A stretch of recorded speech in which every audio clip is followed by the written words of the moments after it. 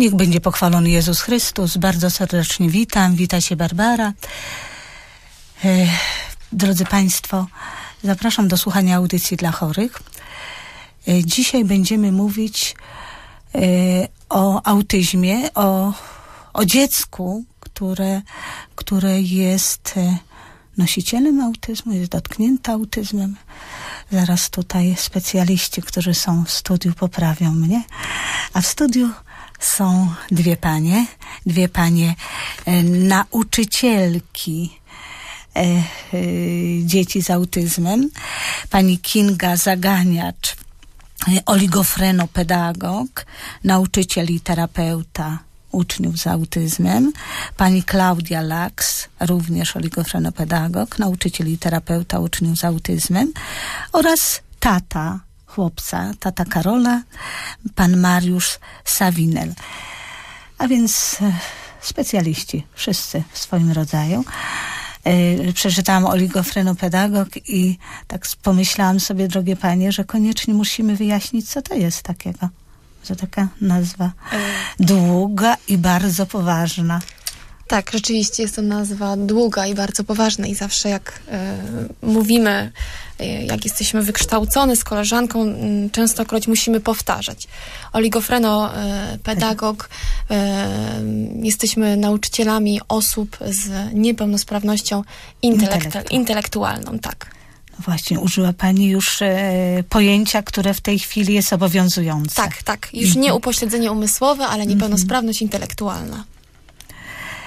E, A e, terapeuta dziecka z autyzmem, to co to takiego? Terapeuta dziecka z autyzmem, e, myślę, że jest to bardzo takie pojęcie szerokie. Będziemy o tym mówić przez właściwie podczas całej audycji, ale gdybyście mogły e, panie w dwóch zdaniach. Terapeuta głównie y, właśnie jest osobą, która pracuje z dziećmi, czy też młodzieżą lub osobami dorosłymi y, dotkniętymi zaburzeniem całościowym, jakim jest autyzm. Tak. Ale także nie tylko autyzm, ale także zespół Aspergera i również inne zaburzenia całościowe, które się w tym całym spektrum otaczają. A więc pani Kingo, jak już e, pani powiedziała, zespół Aspergera, całościowy zespół i tak dalej, to od razu powiedzmy, czym jest autyzm. Myślę, że możemy zacząć od tego, że autyzm jest całościowym zaburzeniem rozwoju dziecka o podłożu neurologicznym.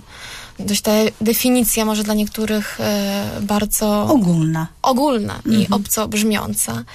E, jednak przenosząc taki na, na nasz język, możemy mm, ten autyzm zaobserwować najbardziej w zachowaniu dziecka. To nie jest e, niepełnosprawność, jak, jak niepełnosprawność, i to nie jest zaburzenie jak niepełnosprawność fizyczna, Którą widać. którą widać dokładnie.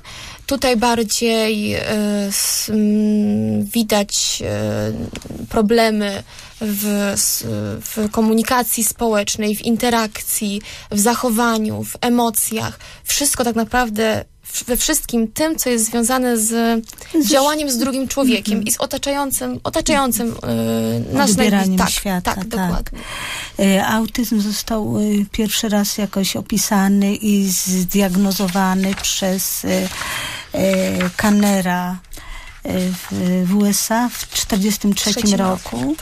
Różne, już nie, nie będziemy może o tym mówić, ale różne, różne koleje miała, miała ta y, y, miała ta diagnoza, powiedziałabym, różne, bo Kanner podejrzewał, że autyzm jest spowodowany przede wszystkim postawą rodziców, co po latach okazało się, że jest to nieprawdziwe. Oczywiście. Ale y, czy, autyzm można jakoś łatwo zdiagnozować, bo on należy do zachowań psychotycznych dziecka, a tych psychos jest bardzo dużo. Na ile, na ile można wyodrębnić w diagnozie autyzm?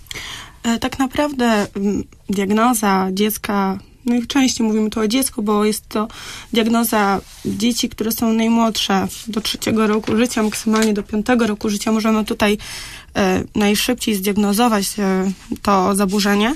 Jest to bardzo trudna diagnoza, dlatego że po pierwsze dotyka ona całości organizmu, czyli musimy wykluczyć przede wszystkim wszelkie inne e, zaburzenia, które mogłyby tutaj spowodować e, Zamazanie obrazu. Pewnie, Dokładnie tak.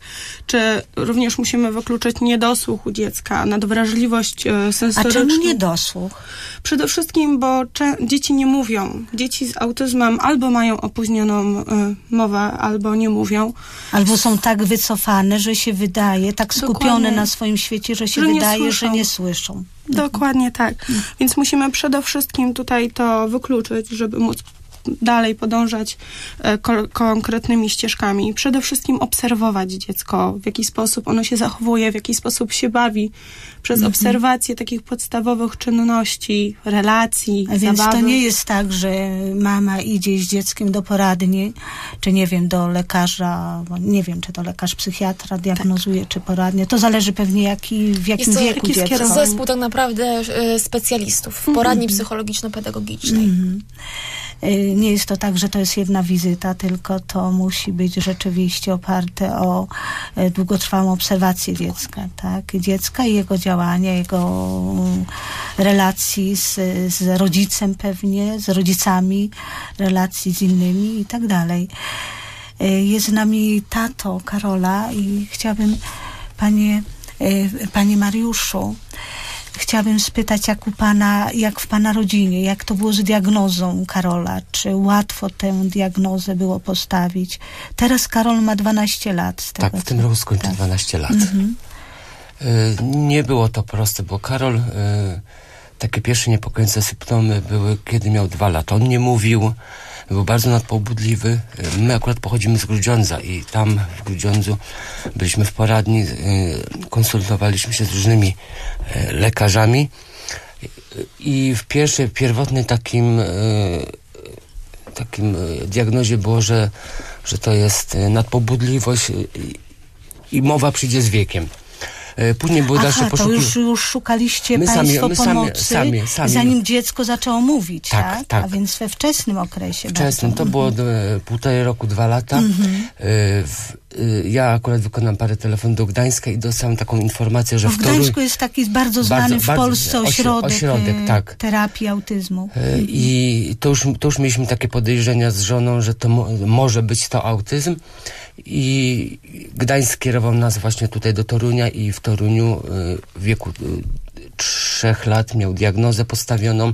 Oczywiście były badania, w Bydgoszczy mieliśmy badanie słuchu, żeby wykluczyć niedosłuch, inne różne choroby przy okazji. I w Toruniu otrzymaliśmy diagnozę. To, w, w, pewnym ośrodku otrzymaliśmy tę diagnozę, że to jest autyzm. I od trzech, e, trzy i pół roku, jak miał Karol, moja żona jeździła z Grudziądza do Torunia codziennie, e, żeby miał jakąś tam terapię. Wtedy w Grudziądzu nie było żadnych ośrodków. Bo to które- był ośrodek nie tylko diagnostyczny, ale, Ale też terapeutyczny. Terapeutyczny, tak. I żona codziennie, ja akurat też wtedy już pracowałam w Toruniu, żona codziennie go dowoziła, czekała pod ośrodkiem kilka godzin i zabierała go do domu. Trwało to przez y, dobry rok czasu, wtedy kupiliśmy mieszkanie, przeprowadziliśmy się specjalnie dla dziecka do Torunia. I, i, I mówię, i ta, i, ta, i ta, że tak powiem, terapia trwa właściwie y, do tej pory. Panie Karolu, pa, Mariu- panie Mariu- Mariuszu, panie Mariuszu, Tak. e, a proszę mi powiedzieć, jak rodzice odbierają, jak państwo odebrali taką informację o autyzmie? Bo dziecko, e, Tak. państwa Karol na pewno jest e, ładnym dzieckiem, Tak, bardzo. to jest cudowne tak, dziecko, pogodne. Bo, e, dlaczego powiedziałam ładne dziecko? Bo e, dzieci z autyzmem przeważnie są bardzo urodziwe, Tak. prawda? Tak, jak, jeżeli sp- spojrzymy na dziecko z autyzmem, jeżeli ktoś nie wie, no powie, no niegrzeczne dziecko, Tak. on jest piękny, rumiany, przecież... e, e, d- Nic d- mu nie jest Nic mu właściwie nie, na pierwszy rzut oka nie jest. E, Ale no mówię, też autyzm, jako autyzm też y, towarzyszą mu pewne inne choroby, bo ja, Karol ma dodatkowo i padaczkę. Mhm. E, te, też musimy tego pilnować, jest pod opieką lekarza, neurologa. E, To jest też, jest też ważne. No ale wspaniałe dziecko. Mhm. E, Dziękuję bardzo. To mówił tata, tata Karola, Karola. E, pan Mariusz Sawinel. A te- teraz e, chciałabym jeszcze do, do pań, które są terapeutkami dzieci z autyzmem, chciałabym spytać e, o te główne przejawy autyzmu. Ich jest, ich jest sporo, ale gdyby panie tak je y, jakoś tak ujęły w jakieś grupy. Taki ogólny Bo, obraz. przepraszam, bo takie pierwsze wrażenie i takie może stereotypowe wrażenie, pierwsza taka świadomość ludzi, którzy nie mają do czynienia i myślę, że, że, że większość ludzi myśli tak, autysta to ten, który jest skupiony na swoim świecie, nie, nie y, ma problemy w relacjach z innymi. Czy problemy w relacjach z innymi? Myślę, że jakby każde dziecko z autyzmem y, jest inne i każde z nich ma zupełnie inny wachlarz tych objawów, które rzeczywiście mówią, że to jest autyzm. Z takich podstawowych, ogólnych, które możemy wymienić, y, to na przykład właśnie wydaje nam się, że nasze dziecko może nie słyszeć, ponieważ dziecko nie reaguje na swoje imię, O, właśnie, nie tak. reaguje na polecenia, unika kontaktu wzrokowego lub ten kontakt wzrokowy jest taki bardzo przelotny, bardzo krótkotrwały. Mówi się, jakby dziecko patrzyło, Patrzyło przez osobę, tak, przez, osobę, nie prosto, w nasze, Mhm. nie, nie prosto w nasze oczy. E, dziecko może unikać e, zabawy z rówieśnikami. E, ta zabawa jego może być schematyczna, to znaczy dziecko małe nie bawi się, tak jak jego rówieśnicy, w przysłowiowego lekarza, fryzjera, Sposób ale- twórczy, tylko, Tak, z, tylko tak. ma określone... Tak, ma określone e, schematy tej zabawy, na przykład układanie jakichś przedmiotów w rzędzie, wprowadzanie w ruch wirowy zabawek, przedmiotów. E, również e, niechęć do zaburzenia tego porządku, Oczywiście, bo jak tak, pani tak. mówi układanie, to zaraz sobie skojarzyłam, że, że wystarczy przestawić coś Tak. w tym rzę, rzędzie i już wywołuje u osoby z Tak, autyzmem. to przyzwyczajenie do rutyny. Dziecko z ma swój plan dnia. Jakiekolwiek zaburzenie tego planu dnia bardzo często powoduje opór, bunt, negatywne emocje. Jakby dziecko nie godzi się z tym, bo nie rozumie, dlaczego coś, co zawsze było poukładane w jego całym harmonogramie dnia, nagle przychodzą jakieś zmiany. Również z takich fizycznych, e, na przykład, które my możemy zobaczyć zachowań, są to stereotypy ruchowe, czyli na przykład machanie rękoma, Przed e, przed oczyma. oczyma, Mhm. tak. Takie trzepotanie. Takie trzepotanie, uszu. zatykanie Tak. uszu, Tak, to jest dokładnie. e, A czy, przepraszam bardzo, bo tutaj y, pan Mariusz powiedział zatykanie uszu, pewnie, pewnie pan z doświadczenia to zna. Tak.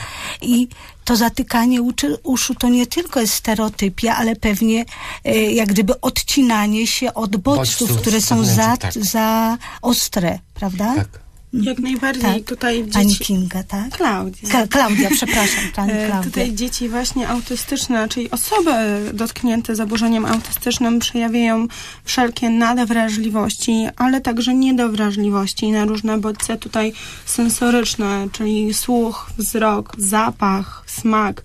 Dzieci, e, mówię o dzieciach, bo tutaj pracuję z dziećmi, więc mi tak najprościej będzie tutaj to scharakteryzować.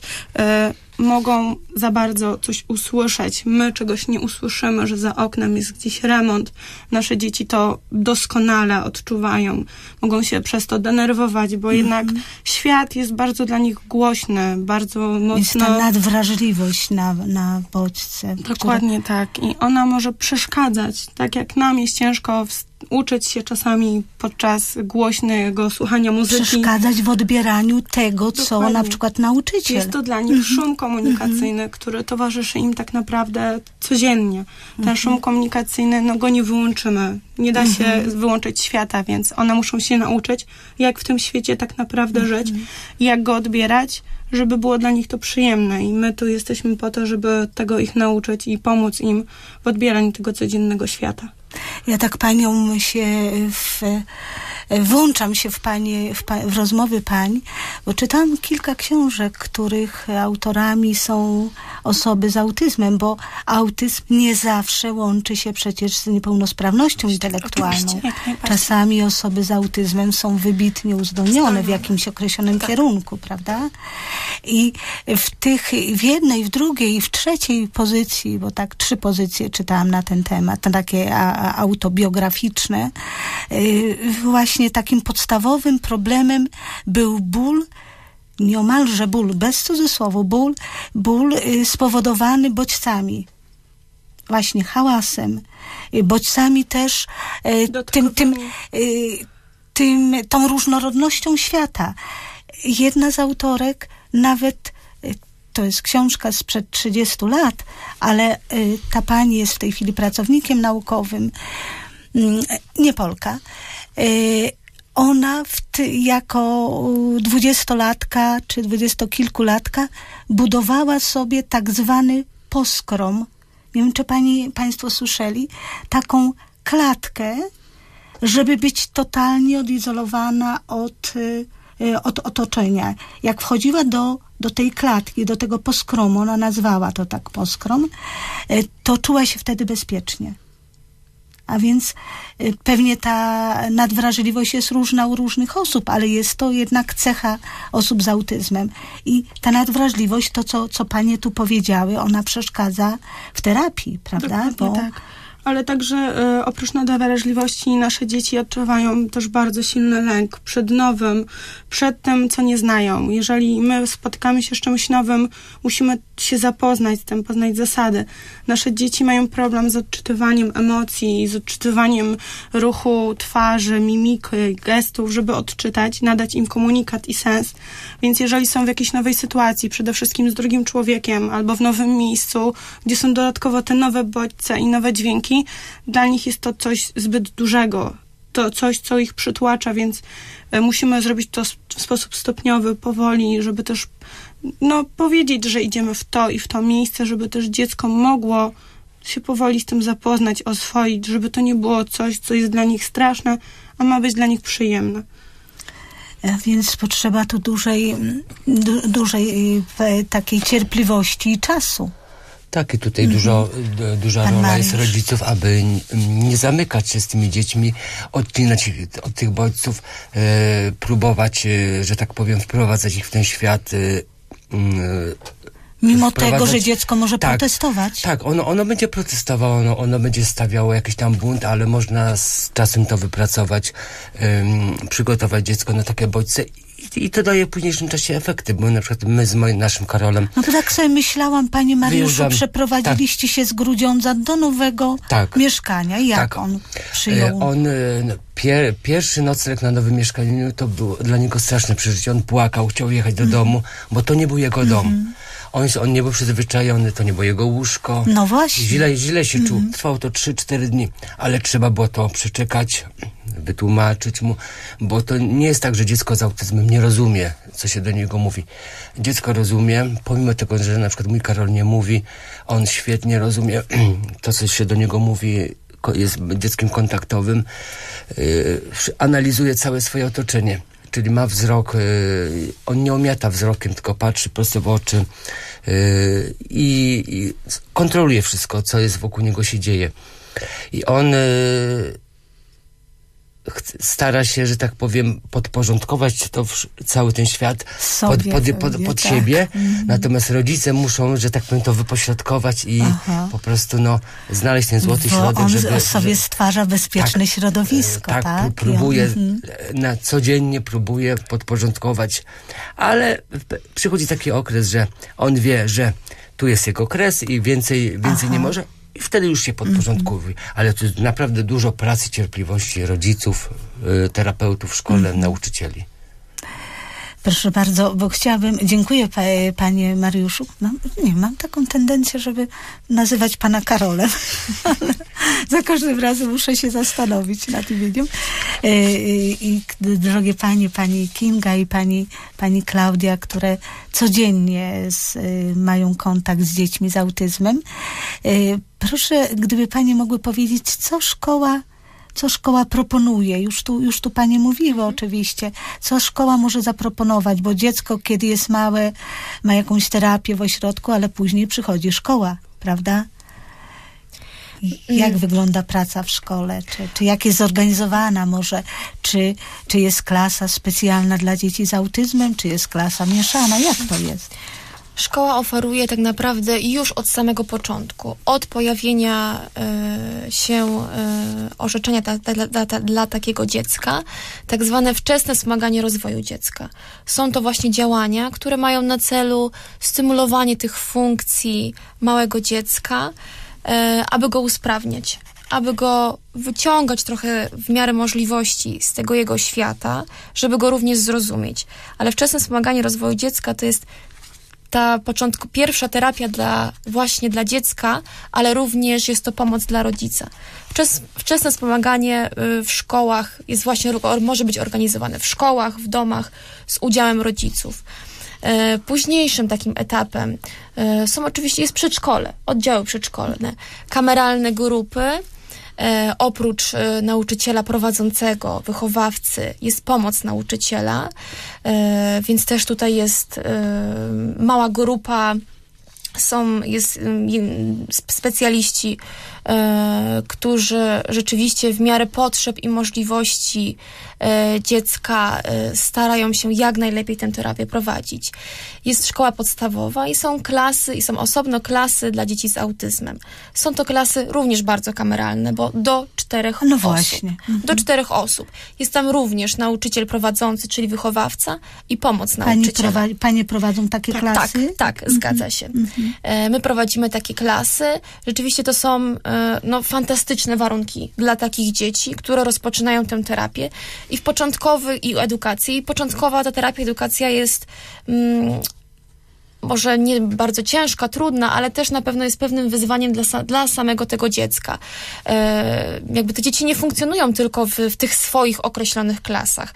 W szkołach, e, czy to integracyjnych, czy specjalnych, również zachodzi proces integracji, ale mówimy tutaj proces, czyli coś, co trwa na pewno bardzo, bardzo długo e, przez jakiś czas. My te dzieci ze sobą integrujemy i to myślę, że e, po latach, po jakimś czasie rzeczywiście przynosi bardzo fajne efekty. Te dzieci siebie zauważają, potrafią ze sobą współdziałać.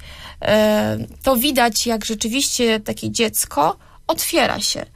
E, oprócz jeszcze e, klas e, dla dzieci z autyzmem, mamy zespoły edukacyjno-terapeutyczne. Tutaj właśnie Klaudia prowadzi taką klasę i oprócz tej edukacji mamy również zajęcia specjalistyczne. Są to zajęcia specjalistyczne w wymiarze 10 godzin tygodniowo tych e, wachlarz, tych zajęć specjalistycznych jest bardzo, jest, ba, jest bardzo, bardzo duży, ten zakres. Jednak y, nie są to zajęcia dla, dla wszystkich dzieci. Dziecko, które przychodzi do nas, do szkoły, przychodzi z orzeczeniem, z zaleceniami z poradni, jakie te zajęcia specjalistyczne dla takiego dziecka byłyby właśnie najlepsze. I wtedy, y, mając specjaliści to orzeczenie, y, również poprzez własną obserwację. Budują program. Tak, terapii. oczywiście tak. tak. Budują mhm. program, tak zwany indywidualny program edukacyjno-terapeutyczny. I wtedy dziecko y, również uczęszcza takie zajęcia mhm. specjalistyczne. To pani powiedziała teraz, pani, pani Kingo, o tym, co właściwie szkoła może oferować dla dzieci specjalnej troski, czy dzieci wymagających wspierania. A skupmy się teraz na, e, na dzieciach z autyzmem. E, u pani Klaudii w klasie są również? E, również. Ja mam dzieci, które mają niepełnosprawność sprzężoną i tu mamy właśnie, e, tak jak wspominaliśmy, autyzm niekoniecznie musi wiązać się z niepełnosprawnością intelektualną, ale w mojej klasie właśnie tak takie jest. sprzężenia występują, mhm. czyli niepełnosprawności intelektualnej w stopniu umiarkowanym, połączonej z autyzmem, czyli tak naprawdę dosyć, no można powiedzieć, trudna e, w nawiązaniu relacji, trudna w nawiązaniu relacji sytuacja, ale nie moż- na pewno jest mhm. ona możliwa przede wszystkim. E, tylko trzeba na to czasu. Nasze małe klasy nam to umożliwiają dzięki... A ile dzieci jest w pani klasie? Bo rozumiem, że tam, gdzie są dzieci tylko z autyzmem, cztery osoby, a w pani klasie? W mojej klasie są przypisane cztery osoby, w mhm. tym jest dziewczynka, która ma nauczanie indywidualne z powodu swoich dodatkowych schorzeń. Rozumiem. Więc w klasie rzeczywiście mam osób trzy i tak naprawdę jest to wystarczająca mm. ilość, e, tak, żeby, żeby móc prowadzić i zajęcia, prowadzić dokładnie terapię zajęcia. i tak naprawdę i ta ilość jest bardzo dobrze przemyślana ze względu na to, że możemy skupić się indywidualnie na dziecku, możemy je obserwować również w otoczeniu grupy. Grupa jest mała, ale dla autystów tak naprawdę grupa już tworząca tak mało osób, to już i tak jest duża grupa, ze względu na to, że tak jak już tu wcześniej e, pani Kinga wspomniała, dzieci siebie na początku nie zauważają. My uczymy je najpierw włączenia w grupę, uczymy ich po kolei żeby dobrze jest nawiązać relacje, chociażby przez zwykłe podanie ręki, przez podanie zabawki, ale to już są etapy naprawdę na kolejne, na kolejne e, zajęcia, ale na początku właśnie jest bardzo dobre to, że możemy podejść do dzieci bardzo indywidualnie. Możemy oprócz tego, co mamy napisane w orzeczeniu, e, sprostać oczekiwaniom również rodziców, którzy mają swoje również zaobserwowane tutaj informacje I dla nas. chcieliby też coś konkretnego uzyskać, tak? W Dokładnie. zachowaniu dziecka, prawda? Dokładnie, więc możemy tutaj pomóc. E, Ja zawsze mówię, mm, pomimo, że oni są tylko w trójkę, to jest aż trójka. I oni są sami w sobie bardzo, bardzo kochanymi dziećmi, których nie ma się czego bać. Przede wszystkim, bo często jest tak, że jak widzimy, że autyzm, jeszcze niepełnosprawność intelektualna, to każdy się, no trochę się broni, troszeczkę tutaj oddala się, ale to są bardzo fajne, pogodne dzieci, które, z którymi jest cudownie pracować. I są te trudności, ale i... Ja, ja, jeszcze, ja jeszcze spytam, y, zanim y, pani, bo pani koleżanka tu chciałaby włączyć się, ale tak sobie wyobrażam e, dziecko z autyzmem na przerwie. Na przykład, jak Znaczy, to jest? Moi uczniowie na tą chwilę nie chodzą na A, przerwę. właśnie. Ze względu na Bo- chociażby przebodźcowanie. No więc właśnie. na korytarzu to- już jest głośno i na przykład No, moi uczniowie słysząc hałas Tak, e, już. kory- z, szkolnego korytarza e, już się denerwują i czasami potrzebują odosobnienia. U nas przerwy wyglądają w ten sposób, że mamy muzykę relaksacyjną, żeby zagłuszyć ten szum komunikacyjny z A korytarza. więc pani jest cały czas właściwie Tak. z dziećmi. Jak najbardziej. Ja przerwy nie mam. Zaraz zawsze się śmieję, że każdy myśli, że u, nauczyciel ma tak fajnie, bo ma przerwy, ma wszystko. Nie. My jesteśmy z dziećmi cały czas, jesteśmy dla dzieci przede wszystkim. My jesteśmy tutaj, żeby ich wspierać, pomóc, ale także, żeby im pomagać w tej codzienności. Przerwa jest czymś dla nich codziennym, więc musimy pomóc im ją tak naprawdę ich nauczyć. Mam w planach jak najbardziej, w moim planie indywidualnym dla każdego ucznia powoli wdrażanie w przerwę, ale to będą krótkotrwałe tak naprawdę wejścia, minuta, dwie, aż w końcu dojdziemy do tych 15 minut, gdzie będą biegać, hasać, cieszyć się, a w chwili Myśli obecnej... pani, że tak będzie? Tak, jak najbardziej. Są do tego jak najbardziej zdolni, tylko trzeba na to czasu. Będzie to duży, duży proces. Jeszcze tutaj I, oddam f- głos. I tak, i, i A ja, a ja muszę też tak. jeszcze powiedzieć, że tutaj pani y, Klaudia y, mówi, że wszystko jest tak pięknie, ale też są takie dni, kiedy ja znam swoje dziecko, są pewne trudne Ach, bo rzeczy. Karol jest w klasie, pani Tak, Klaudii, to jest, tak. to jest y, wychowawczyni mojego Karola. Y, Od września właśnie chodzi do tej szkoły i ja widziałem, jaki jest postęp. Na początku dziecko było bardzo zdenerwowane, nie chciało iść do szkoły, bo to nowa, nowa szkoła, zmiana. A teraz dziecka nie można ze- szkoły właściwie odebrać, bo on nie chce wracać do domu. Tak mu się podoba. Ale też są takie pewne minusy terapeuci czy y, wychowawczyni. Też są takie dni, kiedy dziecko jest na, na, naprawdę zdenerwowane i to, i to wymaga pewno od nich jakiejś siły, użycia, żeby to dziecko sobie krzywdy nie zrobiło i komuś. To są czasami zdarzają się takie trudne momenty, gdzie na, je, jest ciężko. I nam, rodzicom, i, i terapeutom, nauczycielom w szkole.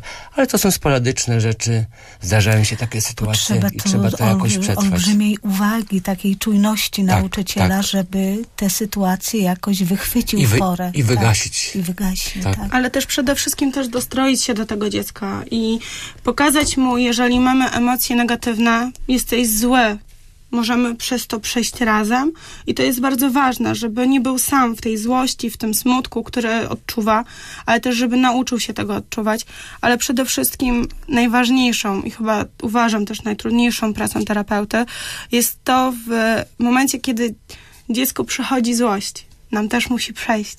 Nam też musi to, natychmiast musimy się odciąć, dostroić do pozytywnych uczuć, a tak naprawdę jeszcze bardziej je umotywować i tutaj my się uśmiechamy, żeby on się uśmiechał. I powiem Państwu, że to jest chyba największa nagroda na to wszystko. Jak dziecko reaguje na Dokładnie. pani Na jakieś, uśmiech, mhm, na wzrok, pani na to, pani że- sygnały, tak. Dokładnie. I tak naprawdę to te trudy już wtedy uciekają w kąt. I tak naprawdę ich nie ma, a w rzeczywistości jest uśmiech i możemy pracować dalej. E, Chciałam jeszcze pana Mariusza spytać właśnie, bo, bo rozumiem, że w szkole jest określony program, e, program na każde dziecko, każde dziecko ma program terapeutyczny, a e, jak jest w domu, na ile, na ile rodzice mają poczucie uczestnictwa w tym, co się z dzieckiem dzieje, na ile są, je, jest ta relacja. No tutaj trudno, no to właściwie nie powinnam zadawać takiego pytania, bo, bo tutaj zaraz będzie ocena nauczyciela, terapeuty.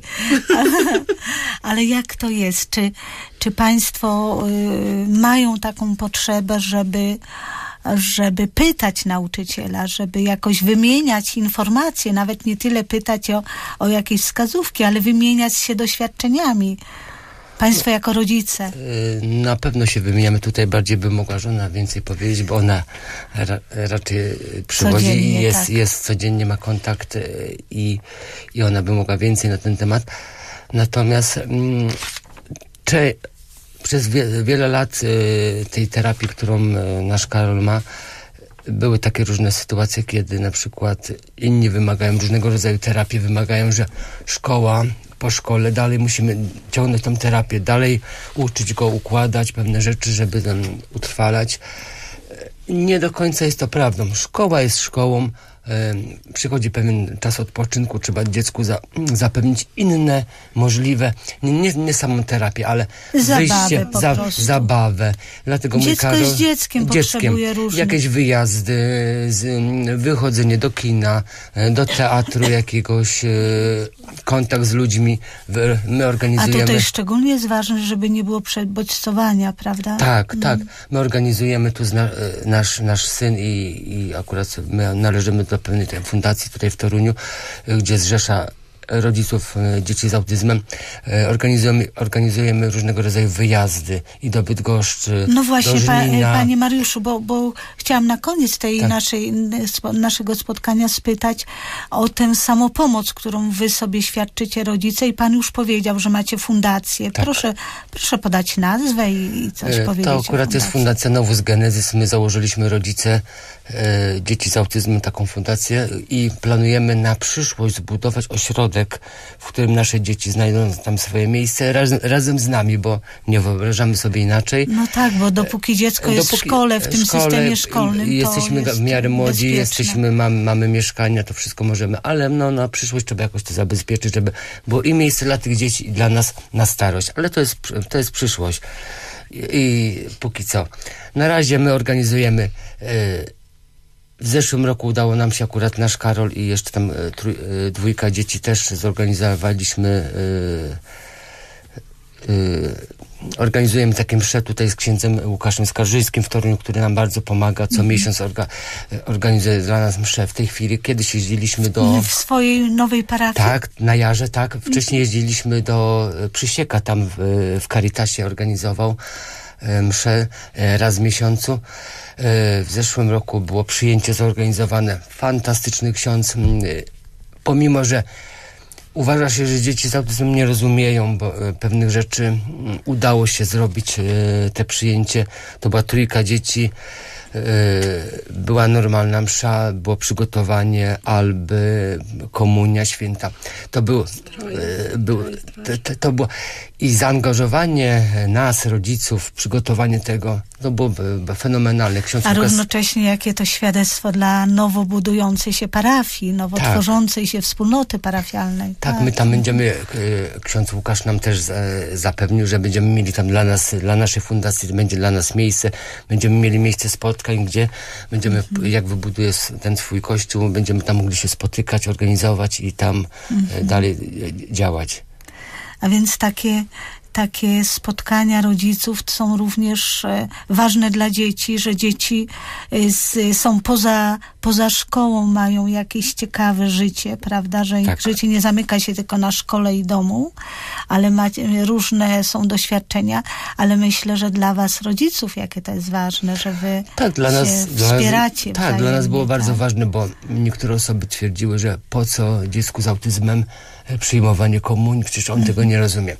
Ale w tym roku, e, na akurat była Wielkanoc, ksiądz Łukasz wyspowiadał naszych chłopców, e, spowiedź wielkanocna była, wziął ich całą trójkę do siebie, wyspowiadał, mówi, i mówi, na ten moment może powiedzieć, że oni tak rozumieją to, to co się do nich mówi.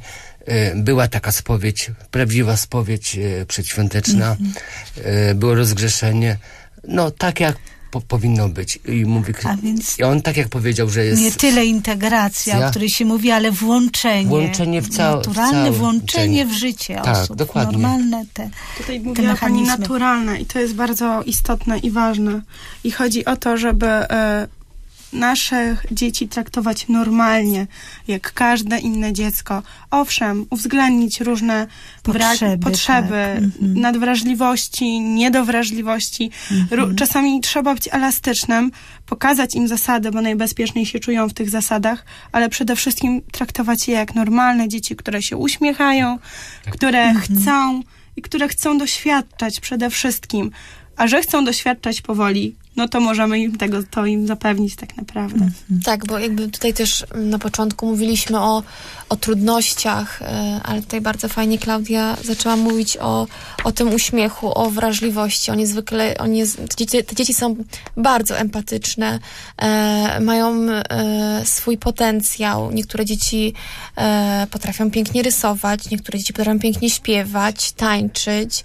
E, naprawdę, e, będąc my na co dzień w tym, w tym ich świecie, możemy tak powiedzieć, rzeczywiście widzimy, że, e, że to wszystko jest takie naturalne, że te dzieci też się uśmiechają, te dzieci, te dzieci też są dziećmi, tylko po prostu z takim swoim jednym dodatkiem, z tym zaburzeniem autyzmu. Ale ta normalność i Trzeba dzieci znaleźć rodziców, kluczyk Tak, do dziecka tak, i dokładnie. wtedy, wtedy praca sprawia ra- radość.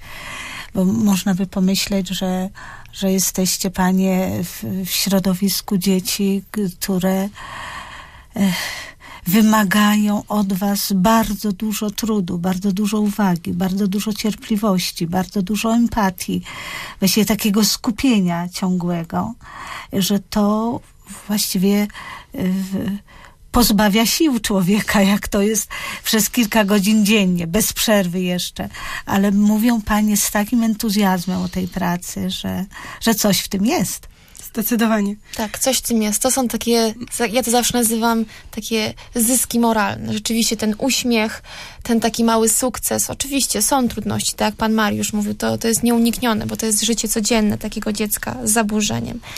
E, ale są właśnie te chwile i te momenty i czasem, gdy jest rzeczywiście źle i też nam te przysłowiowe skrzydła opadają, to jednak pojawi się taka minuta, taka iskierka rzeczywiście czegoś pozytywnego, pozytywnej emocji, małego sukcesu, uśmiechu. I wtedy rzeczywiście to jest taki, taka, taka dla nas laurka, najlepsza, Mhm, naj, nagroda, najlepsza tak. nagroda. Mhm. I tak naprawdę jeszcze dopowiem jedną rzecz. E, Pomimo, że większość naszych dzieci nie mówi, ale tym sukcesem, tym uśmiechem mówią dziękuję przede wszystkim. Mówią dziękuję, bo dzięki, nie powiem nam, ale dzięki sobie, przede wszystkim dzięki sobie, dzięki temu, że pomogły otworzyć się na nasze zasady, na nasz program, na nasz uśmiech, nasz wzrok, pomogły sobie, że mogą doświadczać i cieszyć się z tego, co im oferujemy albo co oferują im rodzice. Tak, dziękuję bardzo. Drodzy Państwo, dzisiaj w audycji dla chorych rozmawiamy o, o dzieciach z autyzmem, e, a zwłaszcza o dzieciach z autyzmem w sytuacji szkoły. W, w, goszczę, gościmy jako radio dwie panie, oligofrenopedagog, panią Kingę Zaganiacz, która jest oligofrenopedagogiem, nauczycielem, terapeutą uczniów z autyzmem i panią Klaudię Laks, tak samo pracującą w szkole, ale nie powiedzieliśmy, która to jest szkoła, jakoś tak mówimy. właśnie, no, gdzieś no to. właśnie, tak. Powiedzcie o coś o szkole. Jest to szkoła 100 podstawowa numer. Tak, ponad 100 lat. Ponad 100 szkoła lat. podstawowa specjalna numer 19 w Toruniu. Serdecznie zapraszamy. Każdy, kto. Szkoła imienia y, Jerzy, księdza Jerzego Popiełuszki. Nie, Nie? nie. A kogo? Fra- Wincentego, Wincentego, błogosławionego Wincentego Frajchowskiego. pomyliłam, przepraszam, y, błogosławionego Wincentego Frelichowskiego. On dzisiaj był wspominany w y, radiowej mszy, w radiowej mszy z Gniezna. Tak miło mi się zrobiło. Y, a więc dwie panie, które są nauczycielami w tej szkole, w szkole numer 19. Ona nie jest numer 6? Jak to?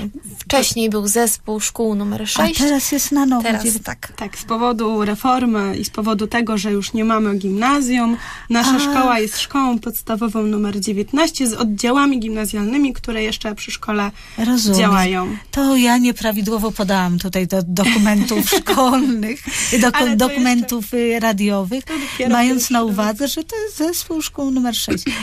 Y, A więc dwie panie, y, pani Kinga Zagania, czyli pani Klaudia Laks oraz y, tato dwunastoletniego Karola, y, pan Mariusz Sawinel. Drodzy Państwo, mogą Państwo telefonować do nas, jeżeli Państwo zechcą rozmawiać z naszymi gośćmi. Nasze telefony 655 23 55, 655 23 56, numer kierunkowy to 56 do Torunia, dwa numery telefonu dla radiosłuchaczy w naszej rodzinie.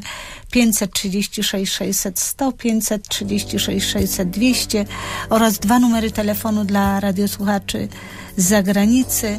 48 56 to numer kierunkowy i dwa numery 655 23 33 655 23 66 Y, już jest muzyka, a jeszcze nie podałam kierunkowego numeru z USA i Kanady 011 48 56 e, realizuje nasz program Ojciec Janusz.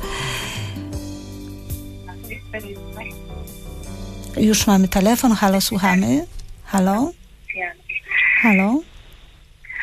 Będzie pochwalony Jezus Chrystus, czy ja już jestem na antenie? Tak, jest pani na antenie. E, Witam bardzo serdecznie Panie i Pana. Jestem babcią y, właśnie wnuczka 12 lat w Anglii i chciałam zapytać, więc wszystkie objawy, wszystko się zgadza, co Państwo żeście powiedzieli.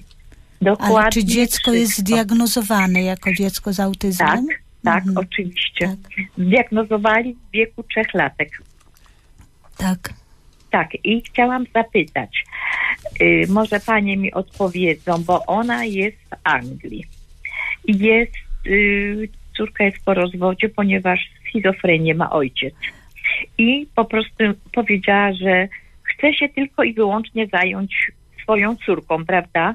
I ma, wcią- ma co drugi weekend jest u ojca. I chciałam zapytać, ponieważ ona e, raz na dwa, trzy lata przyjeżdża do mnie do Polski. Czy po prostu, czy to jest bardzo kłopot, znaczy kłopotliwe, jakieś też zaburzenia, że ona tylko jak przyjeżdża po prostu po angielsku rozmawia. Moja córka ze swoją córką, czyli z moją wnuczką. Czy to po prostu, to jest chyba jakieś też zaburzenie, że tak powiem, że ona ale ona rozumie i tylko porozumiewa się po angielsku. Ale jakie jest pani pytanie? Ja chciałam zapytać właśnie panie te, które są, czy po prostu to jest też takie po prostu bardzo chyba kłopotliwe, że tak zapytam, kłopotliwe, żeby po prostu ona rozumiała i nauczyła wnuczkę po polsku. To jest jedno pytanie, Ale, drugie ale zaraz, bo nie bardzo rozumia, zrozumiałyśmy, tak, Tak. zrozumieliśmy to pytanie. E, Może pani jakoś inaczej sformułuje, bo ja nie bardzo rozumiem, o co pani pyta. Ja chciałam zapytać, Tak. czy po prostu jest po prostu bardzo Czy dla Y, dziecka jest to jest kłopotliwe ciężko, mówić po, tak, po polsku, po tak? polsku, tak. Aha, nauka. dobrze. Czy To proszę to teraz jest- drugie pytanie, tak? I drugie pytanie, gdzie w Polsce są jeszcze takie szkoły? Bo ona ma po prostu swoją nauczycielkę. Ona chodzi do zwyczajnej szkoły i ma nauczycielkę, ale gdzie tutaj są w Polsce, bo gdyby ona się chciała, córka, przenieść z moją wnuczką do Polski, gdzie są takie szkoły w Polsce? Bardzo dziękuję za odpowiedź. Dziękujemy pani bardzo. Spróbujemy odpowiedzieć. Ja może odpowiem i panie też, ale najpierw na to drugie pytanie. W każdym większym mieście są szkoły, do której, do, które mogą zająć się dzieckiem z autyzmem. To Są jest to tak naprawdę szkoły specjalne. tak, szkoły specjalne, które, no szkoły, które są, g- których y, zatrudnieni są ludzie, którzy się znają na, na specjaliści po prostu, terapeuci autyzmu. To jest na drugie pytanie, a na pierwsze?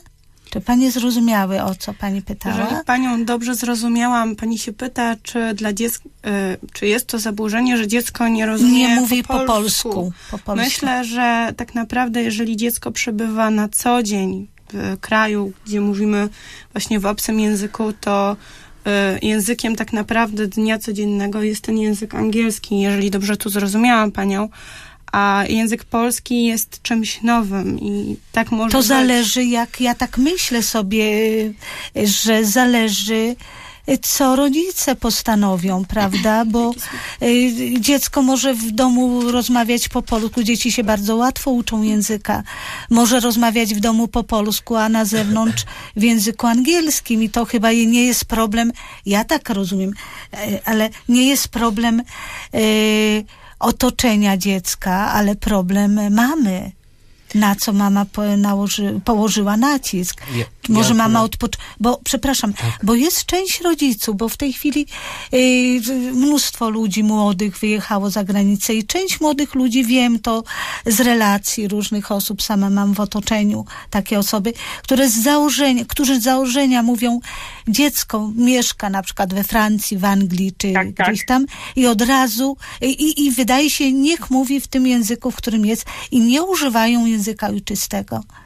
Rozumiem. A są rozumiem. tacy, którzy, y, ja mam w swojej bliskości małżeństwo y, dwunarodowe, jak gdyby, gdzie Tak. mama mówi w swoim języku, mama mówi w swoim języku, Tak. a na zewnątrz mówią w innym języku i dzieci znają w Aha. ten sposób trzy języki. Rozumiem, ale rozumiem. Z, z zaburzeń tak, bardzo serdecznie dziękuję. Czyli w większych miastach w Polsce są te szkoły, tak? No w, w, nie tyle w większych, no w, w mniejszych też, w miastach powiatowych też są szkoły.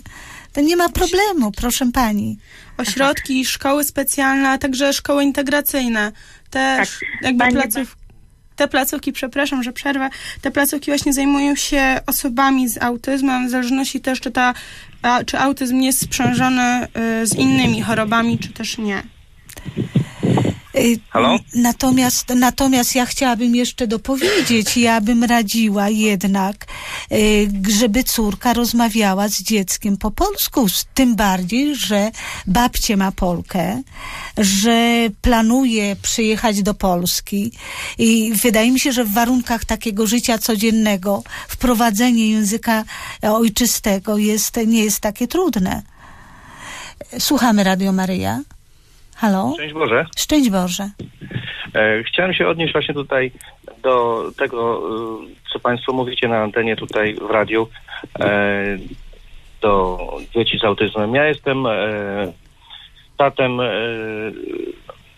syna już, który skończył 18 lat i przez te wszystkie, cały czas, który uczęszczał do szkoły, tutaj w Sanoku, bo dzwonię z Podkarpacia, Chciałem powiedzieć właśnie, że tutaj co Pani mówicie o tych e, małych klasach trzech, czterech osobowych, raczej jest to niewykonalne w mniejszych miejscowościach, takich jak e, nasza mieścina, to po prostu em, dzieci są e, z autyzmem, takim jak mój e, syn ma sprzężony, miał duże kłopoty e, w szkole, gdyż klasy były zbyt liczne. Tak, I- ma pan rację. Mhm. To są właśnie wszystko związane ze środkami, które placówki Tak. dysponują. Druga sprawa jest jeszcze taka, że e, przestrzegam rodziców zbyt e, dużym e, wyręczaniem dzieci naszych. Po prostu musimy pracować nad tym, żeby je usamodzielniać. Dużo pracy, żeby mogły po prostu bez nas samodzielnych czynności wykonywać Wykonywać, same. tak. No bo po przygotowujemy dzieci do życia, tak, prawda? Do życia, tak, Mhm. tak, tak. Właśnie o to chodzi, żeby mogły sobie dać później w dorosłym Tak. życiu dać radę same. No i, i tutaj jest jeszcze jedna kwestia związana właśnie, e, póki e, prawnie są e, nasze dzieci dziećmi, e, jest wszystko w porządku, mamy dużą Tak. pomoc, Mhm. ale gdy kończą te 18 lat i prawne, prawnie stawiają, stawają się osobami pełnoletnimi, tu zaczyna się e, drugi stopień e, trudności. Także. Proszę pana, powiedział pan, wszystkich. powiedział Tak. pan to, o czym mówiliśmy przed audycją i bo to tak trudno na audycji wszystkie wątki, do, wszystkie problemy y, jakoś omówić, ale mówiliśmy, kiedy dziecko jest w systemie szkolnym, to rodzice są bezpieczni, dzieci są bezpieczne. Jak wychodzi dziecko z autyzmem, to zaczyna się problem. Dziękujemy panu bardzo za ten telefon i tu może pan Mariusz odniesie się do tego telefonu, jako E, tato również. Bo ja akurat też, e, mój akurat syn ma 12 lat, my akurat zmieniliśmy w ogóle miasto, w którym mieszkaliśmy specjalnie po to, żeby nasz Karol miał lepszą terapię i to się, i to się opłaciło. Ym, To jest, pana syn może ma 18 lat, e, z tego, z, własnego doświadczenia pamiętam, że e, wiele lat wcześniej było trudniej o jaką, jakąkolwiek właściwie terapię w mniejszych miejscowościach. Duże ośrodki wtedy oferowały e, jakąś pomoc. Teraz jest znacznie lepiej. Natomiast no tutaj praca rodziców i, i przede wszystkim też szukanie innych możliwości. My na przykład e, jako rodzice staramy się też e, e, na przyszłość zbudować ośrodek dla naszych dzieci. Nas jest więcej osób, rodziców z autyzmem, które mają dzieci i staramy się zbierać fundusze, środki na to, żeby na przyszłość zbudować ośrodek dla naszych dzieci, gdzie, gdzie będziemy mieli pewność, że nasze dziecko w późniejszym okresie będzie miało jakieś godne warunki, które będzie mogło powiedzmy No później i będzie, funkcjonować bez i że nas. w przyszłości dziecko będzie również prowadziło jakieś aktywne, Aktywne, życie. przede Nie wszystkim tylko, aktywne bo, życie, Bo tak. szkoła to jest aktywność dla dziecka, prawda? Tak. Duża aktywność.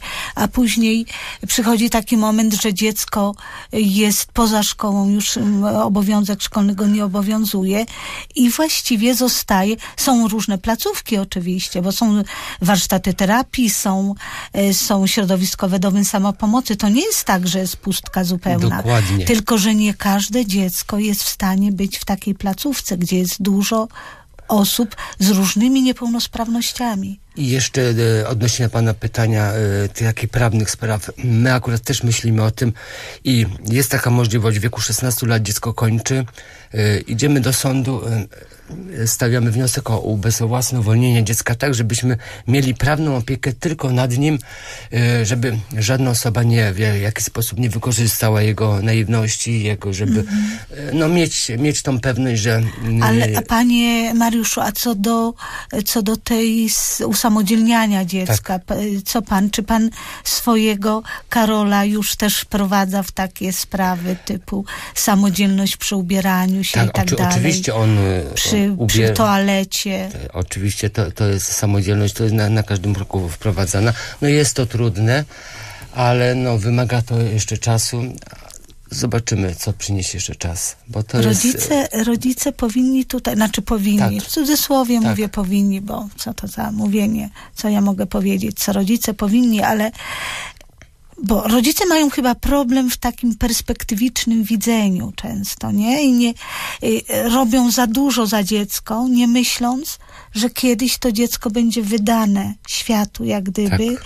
i będzie musiało sobie jakoś poradzić. I y, na ile wprowadzimy dziecko w takie, w takie codzienność, na tyle ono będzie miało szansę później w świecie, prawda? Co pani na to? Mm, Tak, ja myślę również, że w e, tej samodzielności również rodziców wspiera szkoła w czynnościach samoobsługowych ucznia, czy podczas jedzenia posiłków, czy ubierania butów. Przede wszystkim uświadamia rodzicom, jakie to jest ważne. Jakie to jest tak? ważne, Mhm. oczywiście. Czasem spotykamy się właśnie e, z takimi zdaniami od rodziców, że czy on to, on to potrafi sam Mhm. zrobić. Z takim szokiem czasem e, nas pytają. E, ale rzeczywiście, tak jak to pan Mariusz powiedział, to trzeba etapami, powoli wszystko Mhm. wprowadzać i rzeczywiście jak jak najbardziej dążyć do tej samodzielności dziecka, bo tak jak pani powiedziała, w perspektywie przyszłości, im większa będzie ta samodzielność tym, temu dziecku, a później dorosłej już osobie, będzie oczywiście łatwiej żyć. Tak, Ale naturalnie. też przede wszystkim ważna jest e, rodziców, nauczycieli, taka ważna zasada przede wszystkim. Jeżeli my wprowadzamy jakieś zasady dla naszych dzieci, uczymy je samodzielności, musimy przy tym być konsekwentni, żeby określić, że nasze dziecko będzie na przykładowo uczyło się zdejmować kurtkę i wieszać ją na wieszaku. To ważne jest to, żeby codziennie starać się o tym pamiętać, żeby nie wyręczać. Właśnie dziecko, tak jak faktycznie Pan tutaj wspomniał e, w pytaniu, i też byśmy mogli przewidzieć niektóre zachowania, żebyśmy uniemożliwiali naszym dzieciom popełnienia błędów. Jeżeli coś zauważymy, szybko łapiemy za rękę, staramy się poprawnie pokazać, po czym samodzielnie stara się dziecko naśladować nasze ruchy. Trzeba, trzeba chyba wiedzieć, że tak jak chyba każdemu człowiekowi, mnie na pewno tak, potrzebne są ramy Tak. określone, bo wtedy człowiek czuje się bezpieczniej. I dziecko, to co pani mówiła e, o, o tym, e, o tej konsekwencji. Właśnie konsekwencja pokazuje granice Od do. dziecku, tak. Dokładnie tak. I, I ono wtedy wie, ono, ono Czuje nie, się nie bezpiecznie. tym bardziej, że, że y, tutaj akurat w przypadku dzieci autystycznych jest to niezwykle ważne, żeby, bo, bo to poczucie bezpieczeństwa jest, jest z, y, z poczucia bezpieczeństwa dziecko jest bardzo szybko wyrywane z autyzmem, prawda? Odbieramy jeszcze ostatni telefon. Halo, słuchamy? Halo? Halo, słuchamy? Halo? Halo, słuchamy? Halo? No, słyszę gdzieś swój głos, ale halo? Halo, Słuchamy. halo. Tak, słuchamy panią. Szczęść, szczęść Boże. Szczęść Boże. Szczęść Boże. Szczęść Boże pani. Jest pani już na antenie. Bardzo proszę mówić. E, Proszę panią, ja też mam wnuczka, pani Basiu, dziesięcioletniego, autyzm, z autyzmem i posłucham tu, to ci państwo według mojego wnuczka naprawdę mają wspaniałe wnuczęta. Dlatego, że mój wnuczek, przykro mi mówić, ale tylko z butelki pije kaszę i soczek, poza tym więcej nic nie je. Robi w pieluchę, nie na, po prostu taki nie mówi, ma tak głęboki autyzm i tata jego ma 30 lat i on się opiekuje, bo tak wcześnie y, został ojcem. No podziwiam ich i nie wiem, jeździ na zajęcia, proszę panią, jeździ na te zajęcia z nim taka pani specjalnie, on jest jeden i ta pani, bo to jest w okolicach Siedlec, zajmuje się nim, no ale syn twierdzi, że nic więcej nie da się zrobić. Jak on żyje, ja nie mam pojęcia. O samej kaszy i o samym. Poza tym nic nie je, wszystko wyrzuca. Jest duży problem. E, tak, ale czy, czy pani, bo, bo to pani się podzieliła swoim doświadczeniem, bardzo ciężkim Tak, tak. zresztą, Bardzo ale czy pani ciężkim. oczekuje, żebyśmy my tu jakoś się odnieśli do To, tego, czy, bo... to, czy to jest możliwe, że coś będzie? A, Czy- rozumiem, czy można, dobrze. Czy można coś Dobrze, tak, dziękuję bardzo, bo już koniec naszego programu i y, moi goście odniosą się do te, pani tutaj y, pr- problemów. Do tego, Ja akurat pani... mogę tutaj powiedzieć troszkę więcej, ponieważ mój, mój syn ma też jakby autyzm też głęboki, dlatego jeszcze ma padaczkę. Też był problem z jedzeniem, on też nie jadł bardzo dużo rzeczy, ale jakieś wyjazdy terapeutyczne, wyjazdy, turnusy rehabilitacy- rehabilitacyjne. Tutaj była akurat zmiana szkoły, która też dużo, dużo dała w zeszłym roku i jakoś powiedzmy e, te jedzenie się tutaj e, e, poprawiło i zaczyna jeść różne potrawy. Różne, bo- była bardzo duża wybiórczość pokarmowa. Akurat te rzeczy związane z higieną to jest zasługa akurat mojej małżonki, bo ona wcześniej zajęła się tym problemem, e, ponieważ dziecko dowoziliśmy e, 60 kilometrów i było trudno, żeby w wieku 3 lat, on też 3-4 lat e, jeździł jeszcze z pampersem, ale udało jej się w przeciągu roku czasu e, wypracować tak z dzieckiem, że zaczął sikać mhm. normalnie na ubikację. E, A, i, i, tu, I tutaj akurat była duża zasługa żony, że e, e, tak, tak się zadziało. Panie Mariuszu, oddajmy jeszcze Tak. głos. Dziękuję bardzo, dziękuję panie. Ciężko powiedzieć tutaj i ogólniać, czy No, bo jest się nie szansa, zna dziecka, tak. Nie zna się dziecka, nie można mm, zaobserwować podczas jednej rozmowy tutaj e, i wysnuć różnych wniosków, ale także e, przede wszystkim ważne jest to, czy dziecko też nie ma dużych zaburzeń z zakresu integracji sensorycznej, bo to, że dziecko nie je różnych produktów, może owszem być związane z tym, że jest dziecko autystyczne, ale także może, Może mieć związek z nadwrażliwością lub niedowrażliwością tutaj części e, tutaj ust, Ust. E, przede wszystkim środka ust, że pokarm może sprawiać nieprzyjemność. Stąd Y, też Drogie panie, bo już musimy Mhm. kończyć. Co pani e, wobec tego radzimy? Może jeszcze jakąś dodatkową diagnozę? Może Przede poszukanie wszystkim jeszcze, tak? obserwacji dodatkowej diagnozy, Do- może tak. integracji sensorycznej. Nie, Zwrócić uwagę, czy to jest czysty autyzm, czy prawdopodobnie właśnie Sprzężony, sprzężony tak. autyzm z niepełnosprawnością, może nie tylko umiarkowaną, ale, ale bo, głębszą. bo pani mówi, że, że syn jeździ z dzieckiem do... Ale może zmienić, może, Może- pójść gdzieś... Poobserwować. To nie e, jest... Poszukać jeszcze kogoś Dodatkowych innego, zajęć. dodatkowych, tak, tak. tak.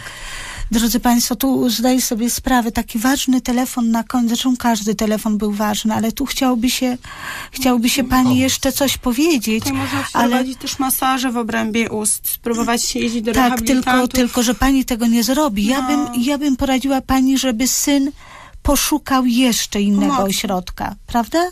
Żeby to jakoś... Pokierowali na y, dalszą drogę po prostu. Tak.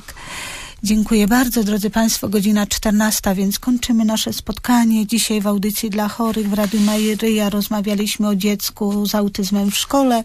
Naszymi gośćmi e, były dwie panie, oligofrenopedagog i właśnie tak myślę, jak to odmienić na kobiece, e, żeńskie, ale oligofrenopedagog, pani Kinga Zagania, czy pani Klaudia Laks. E, Panie są nauczycielami, terapeutami uczniów z autyzmem w szkole numer 19 w Toruniu, szkole, która ma duże, duże e, doświadczenie, dużą tradycję w Toruniu oraz pan Mariusz Sawinel, który jest tatą Karola. Pozdrawiamy wszystkich bardzo serdecznie, którzy słuchali tej audycji i dziękujemy za uwagę, dziękujemy tym wszystkim, którzy włączyli się w audycję. Ja Państwu, moim gościom bardzo serdecznie dziękuję. Bardzo. My również bardzo dziękujemy. Młode osoby, ale widać e, pełne entuzjazmu do, do pracy z dziećmi tak wymagającymi uwagi i pracy. E, Pozdrawiamy rodziców dzieci z autyzmem. Bardzo. Dziękujemy bardzo ojcu Januszowi. E, Ja żegnam się z Państwem na tydzień. Mam nadzieję, że za tydzień spotkamy się. Będziemy mówić o świetlicy dla, dzie- dla ludzi w podeszłym wieku. Dziękuję bardzo za uwagę. Żegna się Barbara Momot.